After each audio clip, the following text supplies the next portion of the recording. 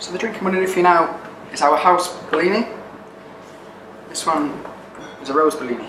So we make a rose puree by leaving rose petals to sit in cold water in the fridge to infuse for a little while. To that we add a little touch of strawberry extract to help sort of add a little bit more florality, a little bit more sweetness to that as well.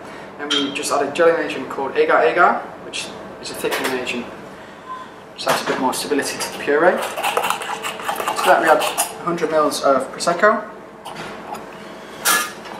Just sort of mix everything together, don't want to beat it too much to push the bubbles of the Prosecco.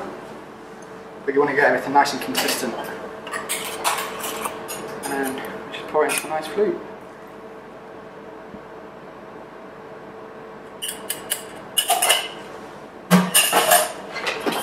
That is the Rose Bellini. Sure.